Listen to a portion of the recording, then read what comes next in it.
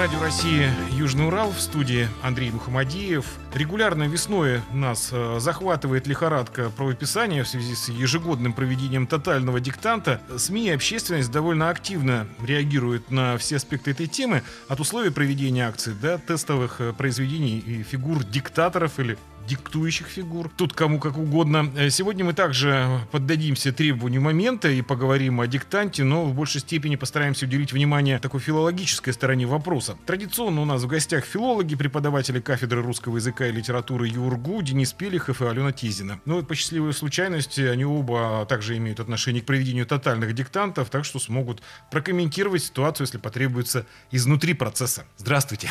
Добрый день. А ну, добрый не, день. Добрый день. Э, не первый год проводится тотальный диктант. Вот интересно, что говорят данные, те, что у вас, может быть, есть, хотя бы самые общие. У нас как грамотность? Растет она в широких массах населения или нет все-таки? Как можно оценить этот параметр, да, угу. грамотность населения? После проведения диктантов, диктант в этом году у нас юбилейный, он проводится в 20 раз. И после проведения диктантов, после проверки создается, организаторами тотального диктанта создается такая тепловая карта ошибок. Потому mm-hmm. что тотальный диктант это ведь акция, которая не просто такая веселая, замечательная акция для проверки грамотности, нашей грамотности, да, или грамотности населения. А это еще очень важный такой механизм или инструмент обратной связи. Например, ну, в русском языке, в русской орфографии пунктуации есть э, случаи э, вариативного написания или случаи, которые еще не кодифицированы, то есть нет правила, которое бы описывало, как ставить запятую в этом месте или не ставить запятую. И вот э, именно такие случаи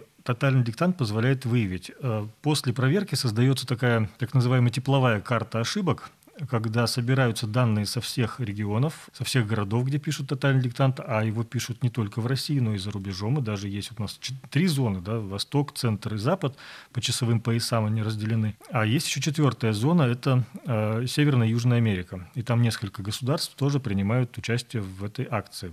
Э, после проверки создается три карты, три текста, там четыре текста дается, да, четыре, э, четыре карты создаются, которые как раз и показывают там два цвета, красный и зеленый. Угу. Красный – это орфографические ошибки или места, где допустили, были допущены орфографические ошибки. Зеленый – где допущены пунктуационные. И чем ярче и насыщеннее цвет, тем больше народу сделали, э, сделало в этом э, месте ошибку, ошибку орфографическую или пунктуационную.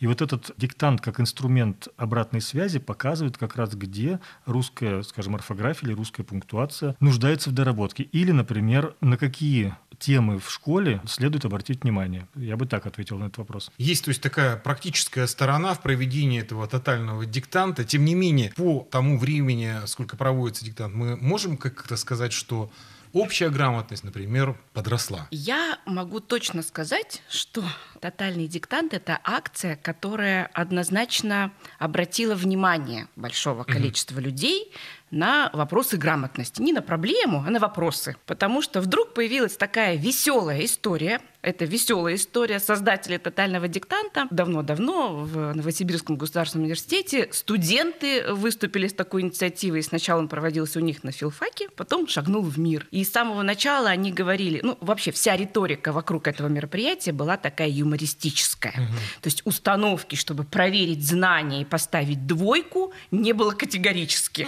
Установка была привлечь внимание к тому, как здорово, интересно писать грамотно, интересные современные тексты современных авторов. И ситуация, которую мы видим э, на протяжении этих лет, показывает, что люди с удовольствием отозвались, и с каждым годом мы видим прирост в количестве стран, в количестве тех, кто, читает, э, кто пишет этот текст, в заинтересованности авторов попасть в э, э, вот этот коллектив авторов тотального диктанта. Угу. Это почетно стало для авторов. И все это свидетельствует о том, что люди заинтересованы вот этой ситуацией. Это уже хорошо. Оценивать грамотность, Денис Александрович сейчас все верно сказал, но это такие статистические вещи. Мы не можем говорить в целом о статистике, мы ей не владеем. Угу. Но вот как тот самый диктатор, который ежегодно читает этот текст и э, проверяет э, эти тексты, я вижу, что со статистикой сложно, потому что каждый раз новые тексты, новые да, слова, новые конструкции, и э, каждый раз ошибками оказываются какие-то новые заявление. То есть, То есть у нас здесь год... просто вот в социологическом смысле нет такой общей линейки для разных да, произведений. Да. Если произведение посложнее, то может быть и угу. в результате побольше будет побольше ошибок. ошибок да. Да. Тут угу. не это главное. Да, быть, не да? это главное. Я правильно совершенно. понимаю, что а, закладывалось некое такое э, веселое семя вот в, в, противопол... а, в противоположность вот такому школьному пониманию Совершенно диктанта. Да? точно. Чем мы сидим да. и дрожим угу, в школе, чтобы, не дай бог, двойку не поставили. Ну ладно, тройка и Категорически нет, домой. Да. Угу. То есть а... тут как раз атмосфера такая должна быть увлекательная, угу. занимательная,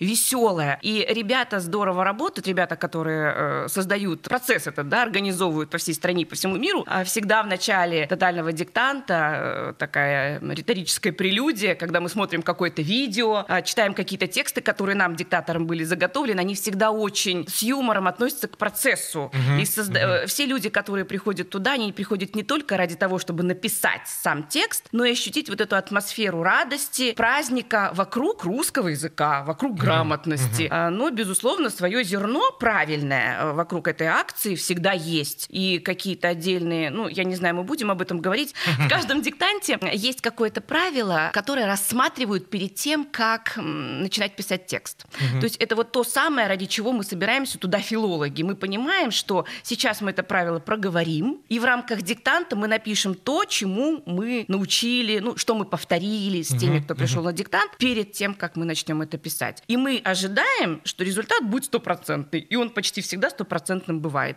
То есть это тот плюс, то микрознание, которое мы дарим в этот момент тем людям, которые пришли на этот праздник, уходят они от нас точно с новой извилиной. Они точно вспоминают что-то, закрепляют что-то, узнают что-то, если люди, которые не умели. Но все-таки, я, как я понимаю, такой массив данных, он по неволе наталкивает на какие-то размышления. Вот мне интересно, насколько у нас, например, меняется а, знание русского языка вот по поколениям. Это же такая уникальная возможность, когда и люди старшего поколения пишут диктант, и помоложе, и, собственно, дети, учащиеся пишут. И тут вот вам, а, получается, карты в руки посмотреть, а, действительно ли, вот как говорят, значит, советская школа обучения была такая замечательная с точки зрения обучения русскому языку, либо сейчас нисколько не хуже. Вот вы как живые диктаторы, диктаторы, вам и слово попробовать оценить эту ситуацию? Ну, э, э, одинаково хорошо учили в советской школе и в современной школе. Одинаково хорошо. Чтобы никого не ранить? Нет, я очень так тактично. Искренне. Мне повезло учиться в советской школе, и я вижу, как сейчас учатся мои дети в современной угу. школе. Я сама учу методики студентов у нас на кафедре русского языка и литературы, поэтому я понимаю, вот у меня фактология есть мощная. Угу. Вопрос в другом, мне кажется. А ощущение от того, что уровень грамотности снизился, есть, но он по другим причинам это ощущение существует. И объективно он, э, это снижение угу. существует по другим причинам. Размышляла об этом много, и со студентами мы много об этом разговаривали. Речь идет о том, что раньше писали много, и сейчас пишут много. Раньше читали много, и сейчас читают много. Изменился текст, который читают и пишут. Если раньше в советской школе мы писали много текстов и читали много текстов классических, писали тексты по классическим текстам, и все наши сочинения, э, ну, я сочинение беру в самом широком смысле mm-hmm. слова, там, сочинение как вид контроля, и вот ответ на вопрос устный, это тоже сочинение, э, письменный, это тоже сочинение. Все эти тексты проверяли учителя, и они э, критично оценивали, указывали нам на наши ошибки, и мы, конечно, стремились впредь эти ошибки не допускать допускать. Сейчас современные дети тоже пишут и читают тексты, а читают меньше классической литературы, больше современной, но не менее качественной, и пишут тексты. Очень много текстов. С утра до вечера они пишут эти тексты, но эти тексты никто не проверяет. Они пишут эти тексты в соцсетях они пишут, скорее всего, в соцсетях. Все, точка. Uh-huh, uh-huh. И как там они напишут, ну, никакая Марья Ивановна с красной пастой проверять это не будет, поэтому нет стремления писать э, грамотно. Более того, вот эта история, связанная с устной речью в письменной форме, потому что тот текст, который мы пишем в соцсетях, это устная речь, uh-huh. записанная средствами письменного языка. Вот эта ситуация разрушает представление о письменной речи в принципе, потому что письменная речь – это кодифицированное явление явление. Она подчиняется правилам. Мы эти правила 10 лет в школе учим, и то не выучиваем. Мы выходим, иногда говорим, господи, страшно написать какое-то слово. Устная речь, она этим законам не подчиняется, а мы вынуждены устную речь писать вот этими буквами, значками. И мы, естественно, отходим от требований письменной речи в соцсетях, и поэтому пишем так, как нам надо. А нам надо, как мы хотим, первое. Нам надо быстрее, это второе. И нам третье надо, чтобы эмоционально, потому что мы же пишем устную речь, mm-hmm. а в письменной речи нет средств, кроме слов, для выражения эмоций. Поэтому мы начинаем придумывать что-то, чтобы вот эту эмоциональность добавить. Ну и вот получается, что перед нами, перед современными детьми, письменный текст не совсем письменный текст. Угу. Денис Александрович, как письменная речь меняется? Дело в том, что я вот вспоминаю прошлые годы, например, да, ну, что такое написать письмо? Это была стандартная вещь в общении, да, мы писали довольно часто, писали огромное количество открыток, mm. писали какие-то собственные мнения, там резюме, там везде нужно было писать, а, ну, достаточно развернутый текст. Mm. Теперь же трудно и помыслить, чтобы кто-то там, да, если уж просто не садится специально написать книгу, ну, вот такое вот развернутое предложение где-то для чего-то написал. Вот ну, это а, все как-то влияет Алена на... Владимировна уже ответила частично, mm-hmm. что действительно устная речь, или вернее письменная речь меняется. Об этом говорил и говорит э, Максим Анисимович Крангаус, который говорил о том, что на наших глазах родилась э, третья форма речи, которая по своей природе устная, то есть э, она рассчитана на устное как бы восприятие с обилием ошибок, оговорок и так далее, а по своей форме, по особенностям восприятия она письменная, потому mm-hmm. что она воспринимается при помощи глаз. В этом отношении, если мы будем рассматривать именно этот третий тип речи, то тогда, конечно, мы скажем о существенных отличиях вот этой нового письма, так скажем, да, которое которая по существу устная речь, записанная средствами письменного языка. Ну, скажем, мы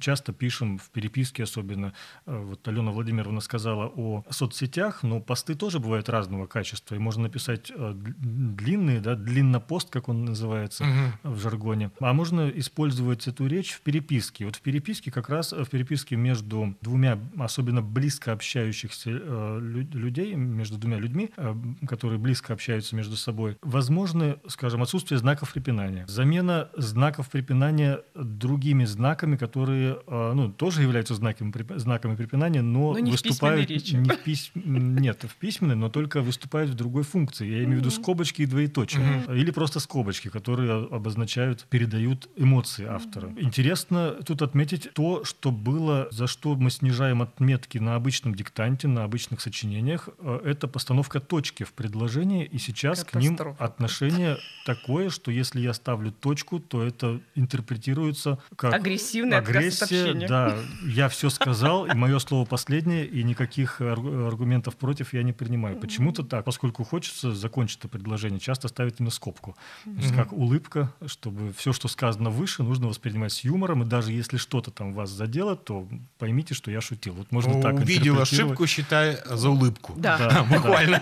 Точно. Давайте теперь поговорим с вами, все-таки вернемся к диктату диктанту какие основные ошибки а вот эти, эта проверка да, массовая высвечивает?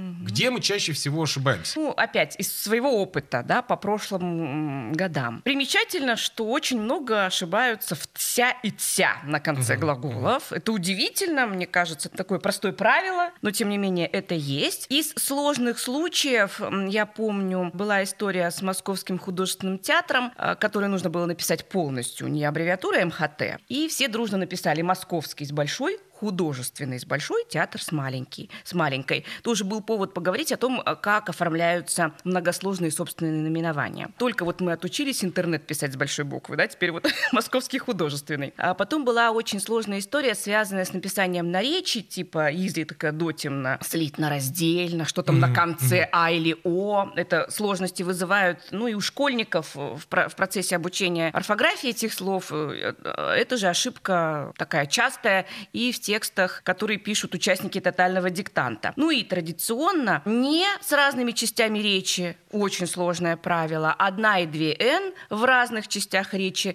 невозможно сложное правило. А пунктуация – это вообще темный лес. Все очень любят запятые, но только как только возникает ситуация, когда запятая должна быть заменена на какой-то другой знак в бессоюзном сложном предложении, потому что между частями сложного есть какие-то отношения, следствия, причины.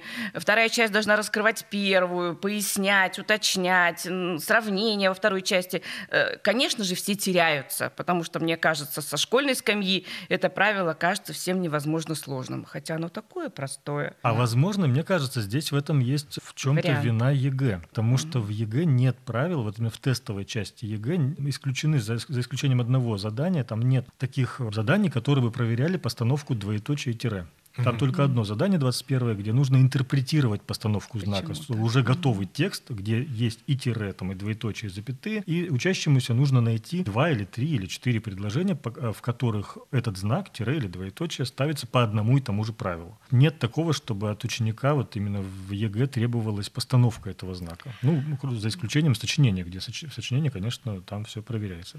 Вспомнила еще одну историю, связанную с написанием тех самых «то-либо-нибудь». Перестать стали Угу. Современные школьники и взрослые люди тоже писать то либо-нибудь через дефис. Опять-таки я объясняю себе. Мы это видим и в тотальном диктанте, и в ЕГЭ, поскольку вот судьба нас э, одарила тем, что мы экспертами ЕГЭ являемся.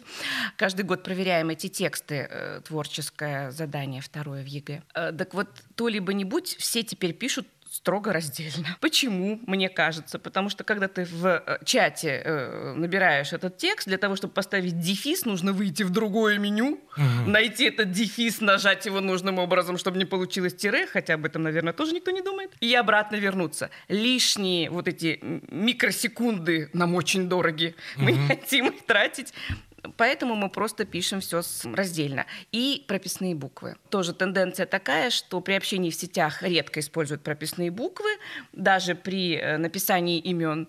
И такая же история наблюдается ну вот в текстах ЕГЭ, хотя в меньшей, наверное, степени. Посмотрим, что будет в тотальном диктанте. То есть вы полагаете, что все-таки это вот влияет, а, да. влияние э, общения в соцсетях, соцсетях, потому что облик и, слова и, он... и самих программ, да, то есть они вот э, позволяют э, определенным образом набирать тексты угу, и угу. в некоторых случаях там, да, прописные буквы какие-то, может быть, а, значит, сложнее, чем просто. Набрать Поэтому просто. скорость идет на таком телеграфном режиме, да, да, тра-та-та-та да. быстро угу, написал, отправил и да, все. Главное смысл что, передать. Да, скорость важнее качества того этого текста набранного графического. Угу. Поэтому ошибки. Ну а раз мы их видим постоянно, мы же их продуцируем, видим, и этот облик закрепляется в нашей памяти, и когда мы пишем вдруг рукой, мы, угу. естественно, пишем так, как мы писали. Ну и бы. с э, ошибками, наверное, еще и смиряемся, да? То есть мы как бы подводим под а... это базу, потому что нам нужно очень быстро написать, поэтому можно написать с ошибкой. Я думаю, Ничего что страшного. смиряемся мы, да. а у детей другая ситуация. Дети уже не понимают, они же не критично ага, оценивают. Они воспринимают как стандарт. Видимо, так, везде так пишут. Наверное, мне так надо писать. То есть это не ситуация, которая была вот в сети. Это, наверное, тема для отдельной программы. Я сейчас подумала об этом, Денис Александрович.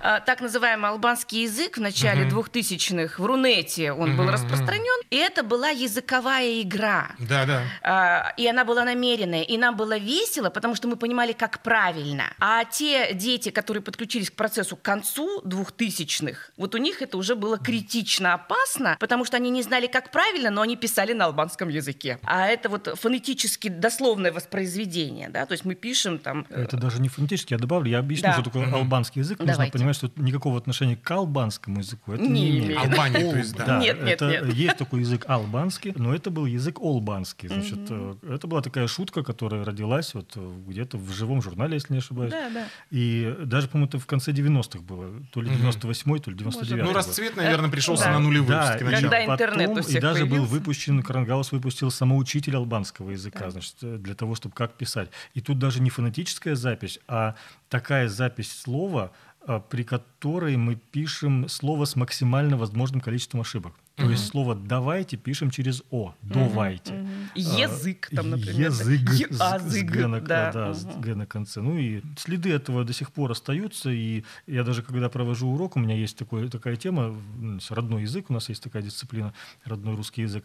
И я даю тему, она называется у меня интернет собака правил нет, где в том числе мы рассматриваем правила орфографии вот в этом ключе, что почему, что иногда правила, что иногда нарушения правил не являются ошибками, а являются языковой игрой. Да. И мы смотрим э, слова, где, где, вот так называемые мемы возникают, в которых ошибки становятся средством выразительности, средством высмеяния, высмеивания Мгм. ошибок, э, ошибок других людей и масса других там, ну, Ну или Ну, просто мы, она уместна. Наверное, да. Наверное, Да. должны, уместно. должны с вами сказать, что вот тот самый пресловутый албанский язык, он по сути весь был построен на том, что это игра слов, которая вызывает смех. То есть человек Да. понимает, что он Игра. пишет и говорит Да. нарочито неправильно. Да, да, да, И да, в да. этом и, и весь смысл. Весь Хотели бы, Денис Александрович, присоединиться э, к Алене Владимировне по поводу каких-то ошибок, которые мы чаще всего совершаем в Да. тотальном диктанте? Я Да. хотел бы сказать и в тотальном диктанте, и в сочинениях, которые пишут э, ребята у меня в 11-10 классах. Обратная ситуация с дефисом. Пишут через дефис слова, которые через дефис не должны писаться. Как будто, будь то, и даже просто будто, который пишется Чересчур? слитно. э, ну, вот чересчур не Нет, не встречал, а встречали. вот будто, буд то через дефис, хотя это одно слово. Или как будто через дефис, как будто. Такая ситуация есть, да. Дефисное раздельное слитное написание тоже одна из таких, э, один из сложных случаев русской орфографии. Понятно. С ошибками разобрались более-менее. Вообще вот интересно узнать. Мы немножечко уже с Аленой говорили а, по поводу текста, что они бывают разные сложности, да, и, соответственно, могут набирать разные оценки в результате. Поэтому выстроить такую систему, как а, линейку, да, и измерить грамотность никак нельзя, потому что произведения разные. Вот, а вообще как подбираются эти произведения?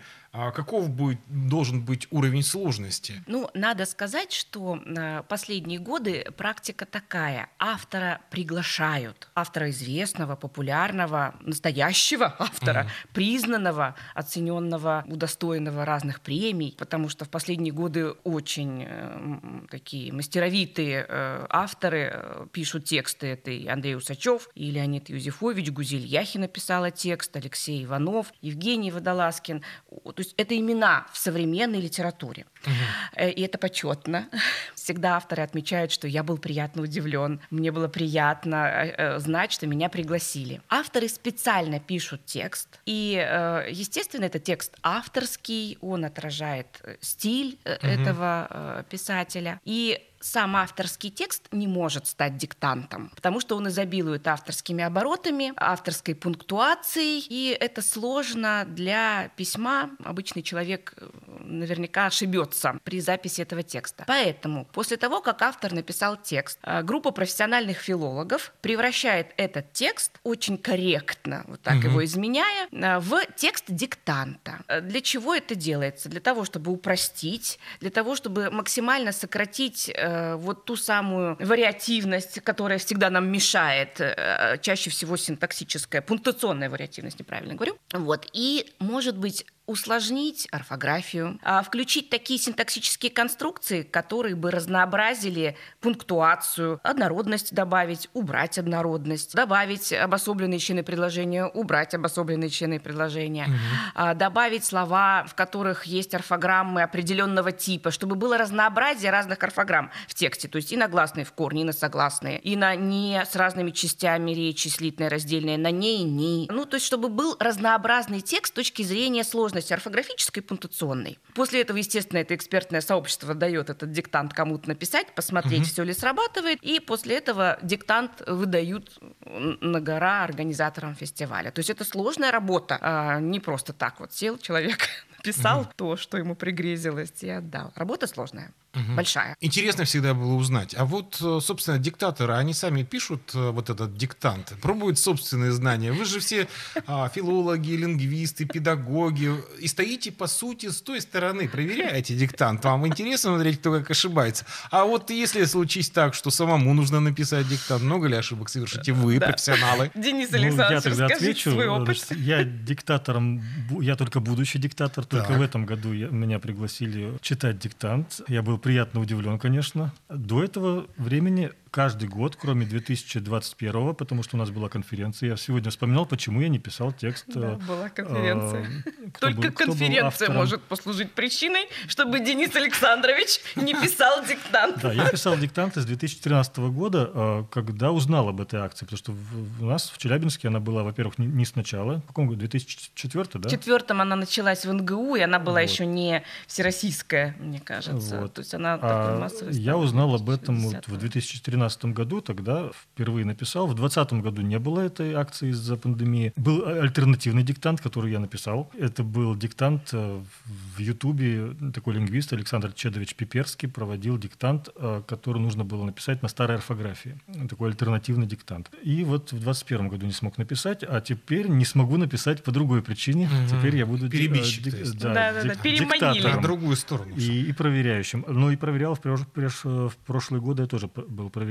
Писал я всегда с радостью и всегда агитировал и учащихся, и студентов своих, и говорил о том, что не надо бояться там троек или четверок или чего там, двоек. Э, У меня у самого были э, несколько пятерок. Не и- скромничайте, и Денис были Александрович. четверки. Денис Александрович, А, каждый год у нас. были четверки у меня и Одна? там нет, не одна, были четверки, были трудности. Но чем хороши вот эти четверки там или тройки, да, когда мы получаем текст и особенно если мы участвуем в разборе этих ошибок, то правила, в которых, которые мы подзабыли и где мы сделали ошибки, они запомнятся надолго. На собственных ошибках очень То есть получается, что учиться. возможность подтянуть язык. Конечно.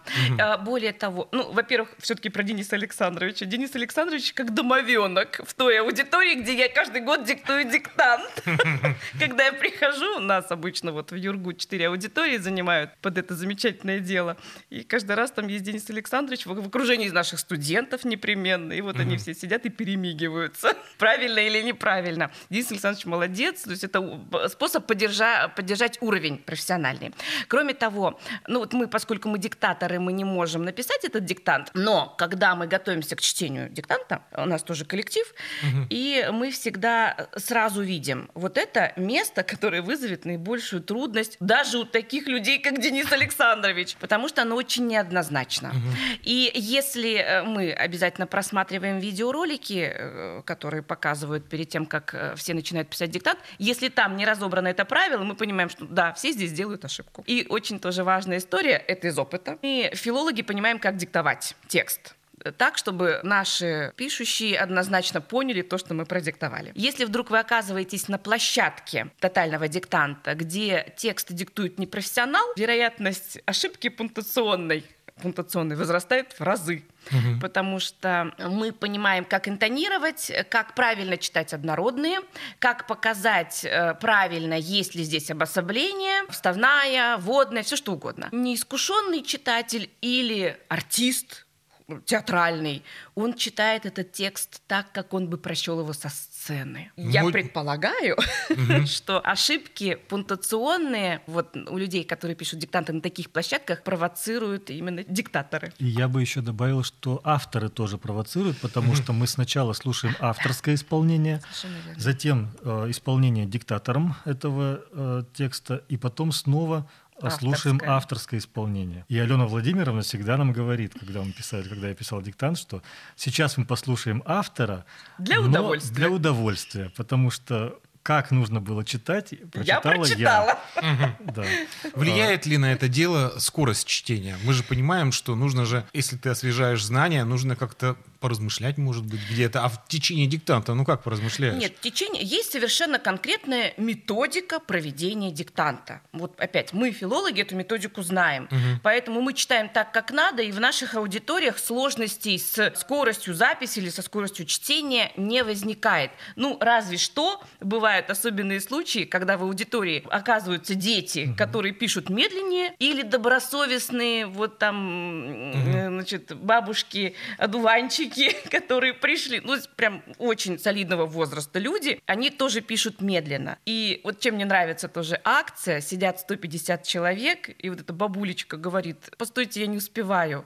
И все сидят и ждут. Когда угу. она допишет это слово. Это вот то, ради чего эта акция создана. Не угу. только для того, чтобы поговорить о грамотности, но и поговорить о том, что нас всех объединяет. Это стремление быть, ну вот, не, не только грамотными людьми, но и людьми разными, с угу. разными взглядами, разными установками, разным уровнем подготовки. Но мы хотим вот в этой ситуации праздника такого праздника грамотности, друг друга поддержать. Страшусь спросить, а сейчас вот э, молодое поколение, оно вообще ручкой-то писать умеет? Вы их э, как-то учат, потому что они же все больше-то на клавиатурах, э, виртуальных, э, настоящих клавиатурах специализируются. Им наверняка очень трудно без переключения, там, Alt-Shift, там, еще что-нибудь написать. Или Ctrl-C, да. Ctrl-V. Это вообще любимый Вообще да, метод. Да нет, пишут. Почему? Ну, другое дело, что, может быть, не так часто. Или, вернее, пишут в школах, мы пишем все равно в тетрадях. Это редко кто ходит с ноутбуком. Студенты у нас ходят с ноутбуками и записывают набирают текст. Набирают текст, э, ну, обосновывая это тем, что им так удобнее, так быстрее. Они печатают быстрее, чем угу. пишут. И вот. Word им сразу все исправляет. Э, да, Word исправляет. Ну, про исправление я потом попозже скажу, кое-какую мысль выскажу. А так пишут, но надо отметить, что действительно в 11 классе, вот у меня сейчас 11 класс и 3 десятых, и я вижу, что вот почерк не у каждого выработан. То есть там действительно есть ну, такие моменты, когда сидишь и не понимаешь слова. Это вопрос, э, вопрос такой снижения уровня каллиграфии, или мы говорим о том, что просто у человека курица лапой, значит, вот такой почерк. Я думаю, снижение уровня каллиграфии. Угу. То есть э, Это в меньшей проблема. степени востребовано сейчас угу. а, письмо от руки, поэтому да. вот мы все-таки в результате получаем а, то, что найти человека с красивым почерком Это сложно. Да, а вообще сейчас есть дети, которые пишут очень красиво, потому что я помню, но у нас почему-то вот девочки в большинстве своем писали уже красиво, там в классе пятом, шестом. Мальчики так и до десятого класса продолжали курицы лапы. в общем-то, как-то больше тяготея, видимо, к математической форме русского языка, ну, какое-то изложение. Я тут могу сказать опять из опыта э, экспертной деятельности в области ЕГЭ, поскольку каждый год мы видим вот эти работы одиннадцатиклассников, тысячи этих работ проходят через наши руки, очень сложно. В большей степени, то есть когда ты встречаешь работу с красивым красивым почерком, у тебя прям вот по экспоненте поднимается настроение. Боже мой, ты сейчас с удовольствием прочитаешь понятный, угу. не с точки зрения содержания, а с точки зрения оформления текст. Это всегда э, приятно. Могу сказать точно, с почерком беда филологические профессиональные эндорфины при виде правильной Красивого, каллиграфии. Да, письма. Ну и давайте предлагаю тогда уже завершить наш сегодняшний разговор по поводу тотального диктанта. Во что он в конечном счете должен выливаться? Ну хорошо, вот вы профессионалы посмотрели, как мы не профессионалы в общей своей массе совершаем ошибки. Получили, может быть, небольшую радость профессиональную. Да, ну э, все-таки мы же должны, наверное, прийти к чему? Создать, а, какой-то, может быть, ресурс столь любимым молодым поколением интернета, интернете. Б. Может быть создать словарь ошибок, который мы совершаем очень и очень часто для того, чтобы можно было не только в Word спрашивать, где и как правильно пишется, но посмотреть у наших филологов, что они рекомендуют.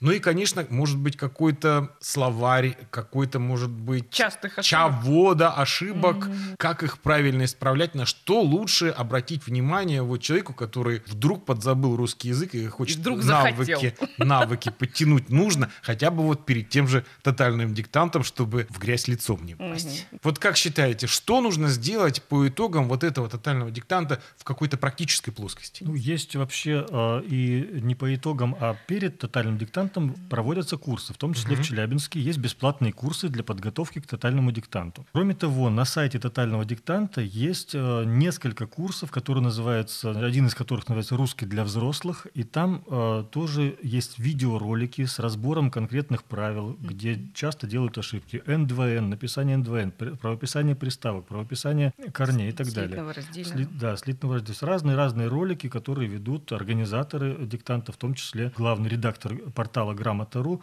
Владимир Маркович Пахомов. Я думаю, вот, вот об этом стоит сказать, что это уже есть. То есть это не то, что мы можем что-то сделать, это уже есть, это уже делается, это уже существует. И вот. А я, готовясь к сегодняшней передаче, провел вчера в течение двух дней опрос, который показал, э, значит, я его назвал так, восприятие и самооценка грамотности. То есть мне было интересно не подлавливать людей где пишется слитно, раздельно, там А или О. Мне было интересно посмотреть, а как сами люди оценивают свой уровень грамотности. И опрос показал, там было всего 7 вопросов, 4 из которых были такие формальные, возраст, пол, место проживания. Мы тут полностью с Аленой Владимировной, когда составляли эти вопросы, доверились как бы э, нашим респондентам. То есть мы их не проверяли, как писать, а мы спросили, как вы сами оцениваете свой уровень грамотности, как высокий, достаточно высокий, средний или скорее низкий. И, и э, еще один вопрос был, замечаете ли вы ошибки в личных сообщениях, в интернете, в объявлениях? И, и последний вопрос такой тоже на восприятие своей грамотности. Что вы чаще делаете или как вы поступаете, когда сомневаетесь в написании того или иного слова? Да, и был еще один вопрос, а, за который я особенно зацепился, и вот сейчас как раз его и хотел прокомментировать. Был еще такой вопрос, э, на который нужно было ответить. Связана ли ваша профессия или ваша область деятельности с необходимостью грамотно писать? И вот из э, всех 148 респондентов 22 человека ответили, что нет, не связана их деятельность с необходимостью грамотно писать. А вот на вопрос, как вы оцениваете свой уровень грамотности, ответили как высокий, уровень, при том, что то есть человек говорит, что нет, я не обязан грамотно писать, мне это не нужно для работы, но тем не менее мой уровень грамотности высокий. 10 человек, 3 человека, 10 человек сказали, что достаточно высокий, и 9 средний. Никто не отметил э, низкий уровень грамотности. Там один человек э, признался. О чем это говорит? Тут, конечно, можно такие поверхностные э, значит, э, интерпретацию этих данных сказать, что, в принципе, опрос некорректен, да, то есть мы, ну, что мы, получается, доверяем нашим респондентам, мы не можем никак Их верифицировать верифицировать, да, их самооценки. Мы не можем верифицировать этот опрос, потому что он даже он анонимный совершенно. Мы можем угу. только знать угу. возрастной диапазон, кто так отвечал, и да, место проживания и пол, и больше ничего. Но тем не менее, и сказать, что да, может быть, они соврали, может, им стыдно признаться, что они, у них низкий уровень грамотности, или они просто не, не в состоянии корректно и адекватно себя оценить объективно. Ну, ну, я так а... понимаю, что именно критерии, которые вы вводите, они как раз и подразумевают, что нет необходимости обманывать. Да, Можно да. просто сказать честно, как ты думаешь по поводу того, какова твоя грамотность. Вот. И никто тебе не засмеют. Ну, да, да, и вот тут дальше-то я хотел сказать, что, значит, что они отвечают, что нет, э, их деятельность не связана с языком и с правильностью написания. Их уровень высокий, средний, либо достаточно высокий. И это говорит э, об одной тенденции или об одной черте, очень, на мой взгляд, важной. Если им не следует или не требуется от них грамотного написания, но, но тем не менее они оценивают свой уровень грамотности как достаточно высокий, даже если они лукавят, то это говорит о том, что в их системе ценностей грамотность да. занимает определенное не самое последнее место. Даже если им совестно написать, что э, если у них низкий уровень грамотности, но они стыдятся об этом сказать, значит, они понимают, что быть неграмотным – это хуже, чем быть грамотным. Значит, в системе их ценностей грамотность занимает не последнее место. Вот, поэтому мне, мне этот опрос понравился, эти ответы. А вот самое интересное, что вот мы с вами говорили и сейчас, и когда говорили в разговоре с детьми о том, что сейчас нет необходимости заучивать правила, есть гаджеты, которые сами исправляют ошибки. Был вопрос у меня, что вы делаете, когда у вас возникают сомнения? Большинство, 73% ответило, что проверяю себя по словарю или интернет-источникам. И только пользуюсь автоматическими подсказками, например, функции Т9 в телефоне, только 4 человека из 148. То есть все-таки люди проверяют свои знания, сомневаю, когда сомневаются. И интересно отметить, что еще был один из вариантов ответа. У меня не возникает сложности с написанием. Ни один человек так не ответил. Все-таки ответили честно, что сложности бывают, это нормально. Я вообще говорю, что э, ошибки это вообще одна из нормальных сторон существования. прогресса э, суще... Да, существования и функционирования языка. Да, ты ощущаешь ощущаешь свою необходимость в тот момент, когда видишь ошибку. Как один из факторов, который нужно отметить вот таком опросе, может быть, он даже положительный, а может отрицательный, я даже не знаю, с точки зрения социологии, может отрицательный, а вот с точки зрения любви к русскому языку, конечно, положительный, это то, что на самом деле на такой опрос отвечать будут только те люди, которые участвуют в тотальном диктанте, и это уже само по себе означает, что они придают значение русскому языку как минимум. Большое вам спасибо, я напомню, о тотальном диктанте мы сегодня говорили с преподавателями кафедры русского языка и литературы ЮРГУ Денисом Пелиховым и Аленой Тезиной. Спасибо вам большое. Спасибо.